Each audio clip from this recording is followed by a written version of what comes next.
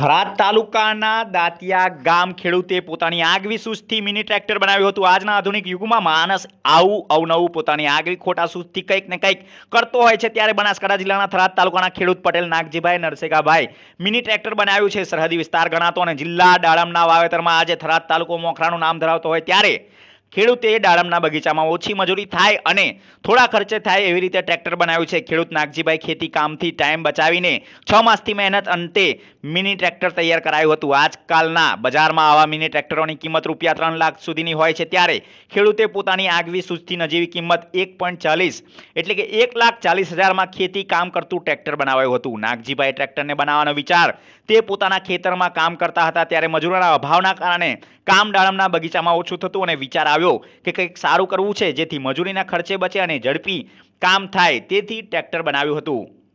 બનાસકાંઠાથી Deepak પુરબિયાનો special report Padra twenty four તમને આ કોણ બતાવ્યો તે આઈડિયા ટ્રેક્ટર બનાવવાનો? અને બસ દાળમાં મમ્મી જો મહેનત થોડીક વધની પડી એટલે આઈડિયા આવ્યો કે કોક વસ્તુ બનાવો.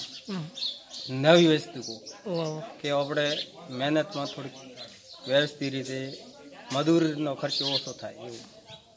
એટલે પછી આ નાનો ટ્રેક્ટર બનાવ્યું એમ. ભેગા જુગાડ અલગ અલગ ઠકાણાથી વસ્તુઓ લાવી.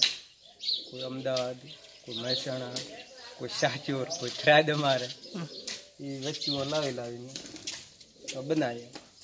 ઘરે બેઠા. કોમ કરતા કરતા કે ખેતરમાંથી છૂટા થા તાર બનાવવાનું.